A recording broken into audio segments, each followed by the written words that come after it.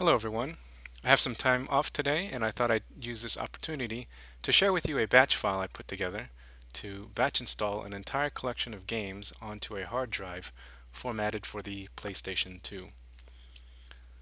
So batch installers do exist for the PS2 hard drive, but from what I've found, all the existing ones such as WinHIIP, HDL dump and its variants, including helper, GUI, they all had issues with a number of things, such as partition names, multi-disk games with names that are too long, conflicting with each other, dual layer disks not being installed correctly, sometimes games flat out just don't install at all, or users would have to add games manually one at a time to a job list.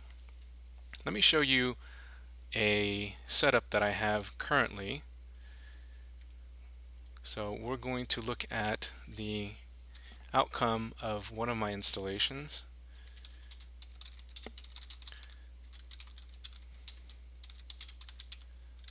So first I'll show you the table of contents.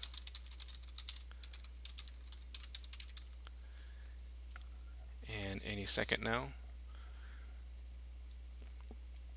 So the table of contents shows the partition names and you'll see here that every partition name starts with PP followed by um, the game ID. HDL is uh, short for HD loader. That's what uh, originally started everything followed by the name of the uh, game. And here's the corresponding title for these partitions. So here you see Growlanser, that's actually 2 and 3, but because only a certain number of characters are used, uh, that gets uh, dropped off. And here are the long names that are used for the titles. So um, I'll put a link in the description below for the batch file, as well as a, a post to discuss in more details the shortcomings of the existing methods and programs. Um, anyway, HDL Batch makes use of the latest version of HDL Dump, version 0.9.2. That's what I'm using here to show you the table of contents of an existing installation. Um, there are really just two very simple steps to HDL Batch. The first step is to run it to produce a scan log of the games that it found. And then the second step is to do the actual installation. And all this requires is a couple of mouse clicks and a few button key presses. So we'll start by right clicking on the batch file. We're going to select to run as an administrator. Notice that I've um, extracted the zip file and all the contents into the directory that contains all of my games and they can be CUE/BIN files or ISO files. You don't have to convert your CD files over to ISO. You can, but it's not necessary. So the first time we run this, we're going to be asked whether or not we want to make use of the game database that comes with it. And all this is, is it'll search each game file and it will extract the game's title from the database. You can optionally choose not to use it and instead the file name of the game file will be used as the game title. And I'll show you both outcomes.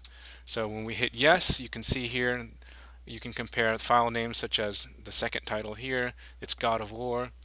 Uh, the file name, however, has a game ID prefix and an abbreviated game title.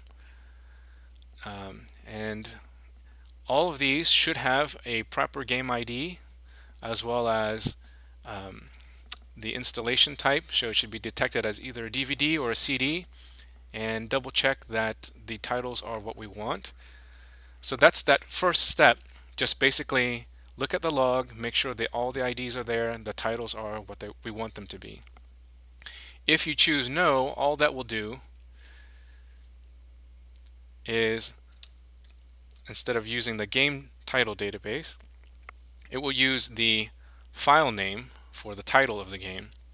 And the title is what gets shown in programs like OpenPS2 Loader, or often known as OPL. Uh, so God of War 2 just uses God of War 2. Here GOW is the title because we strip out the game ID.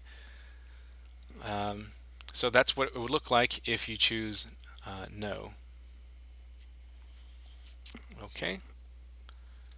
Now, what do we do when we want to actually do the installation? So, right click on the batch file, go to edit,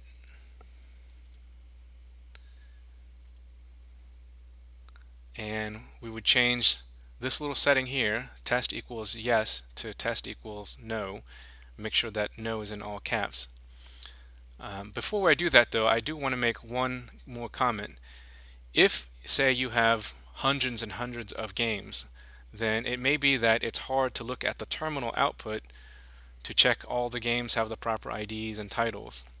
What you can do is run a command prompt, run it as administrator, and what we'll do is we'll change directory to the directory that contains our batch file as well as all of our game files.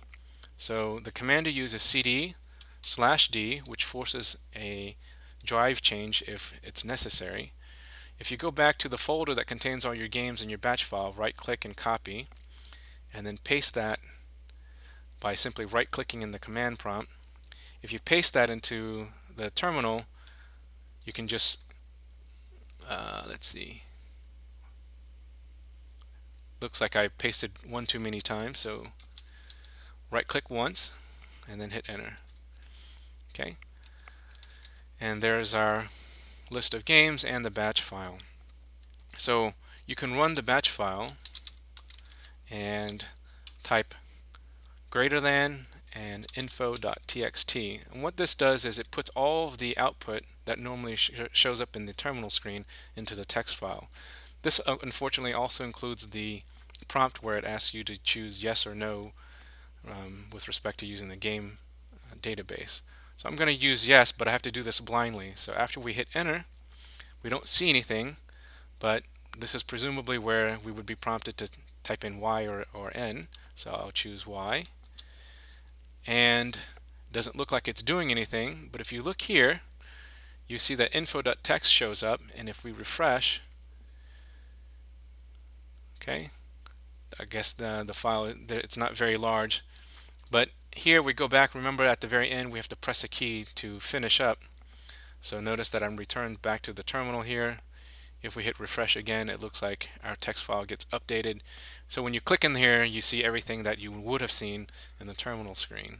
So this is for those of you who have extremely large library uh, of games. Uh, this is one way to uh, capture the output. All right, so that said, let's go to step two. So what is step two? Um, we right click and edit. We go down and we change this setting from test equals yes to no.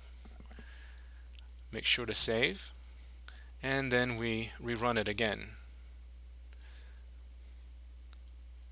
So this time it will scan our drives and it will detect, hopefully detect one of our PlayStation hard drives. Now some of you may have many, many different hard drives attached to your computer. If you look down here, there are only five options. You can install it to HD 1, 2, or 3, where 0 is presumably where your operating system lives. Or you can do a network install or quit. So if yours happens to be detected as, for example, HDD 6, what you can do is you can go back and edit the batch file and just change the first option here, HDD1, so here, and here to whatever yours was detected as, so 6 as the hypothetical case. All right. Anyway, mine is connected by USB. It's detected as HDD1, so I'm going to select my target drive as 1. So we'll press 1. And here we are prompted with whether or not we want to use the uh, titles from the game ID text file. And I'm going to choose yes again. So I'll hit Y and then it immediately starts the installation. So here you see the progress for God of War 2. This is a dual layer game that gets detected properly. Here's its title and it's detected as a DVD. Right now we're getting a rate of about 73 megabytes per second. So that's going to be dependent on the quality of your uh, USB adapter. You can get faster speeds if you connect directly to the motherboard but I didn't feel like taking apart my uh, my chassis and hooking up my hard drive, so I'll just settle for 70 megabytes per second. I'll pick back up once this is done because it's not going to um, be finished anytime soon. It'll probably take a few minutes. Um, if you've got a large library, it might take a few hours, but this is the extent of what you have to do in order to install your games. Just scan it once, look at the log, check everything's okay, then go back, edit the batch file, and then rerun it again. Choose your target drive, select yes or no for whether or not you want to use the game database for your titles, and then walk away. Hopefully by the time you get back, everything is installed and completed. And with that said, I'm going to go ahead and pause the video here for a bit, and I'll pick back up once this is all done. Alright, I went and made some tea, got back, and this is the uh, finish screen. So everything shows up as 100%. We've got press a key to continue. Um, so when we press a key, of course, it closes out the uh, terminal window. Now, you're going to want to double check that everything did in fact install correctly. So let's go back to that directory and remember that our target drive was hdd1 colon so if you type toc hdd1 colon you'll see that the games were installed with these partition names God of War 2, God of War, Xenosaga Episode 3, Discs 1 and 2. Notice here, see how they have the same titles here, but they're different here in their game IDs, so this makes it so that there's no conflict at all. Uh, older versions of HDL dump um, don't insert this game ID and, and so you end up getting cases where long game titles conflict with each other in the instance of multi-disc games. If we wanted to see the actual titles themselves, we can use HDL TOC, like so. And this is the title that gets shown when we view it from um, the game menu from, say, OPL or OpenPS2 Loader. Now, my last comment to make is something like Xenosaga Episode 3, you probably want to rearrange the title here anyway just so that you can see disk 1 and disk 2 a little bit earlier. And the reason why is because a lot of the OPL themes don't actually show I don't know however many long uh, or however many characters this is.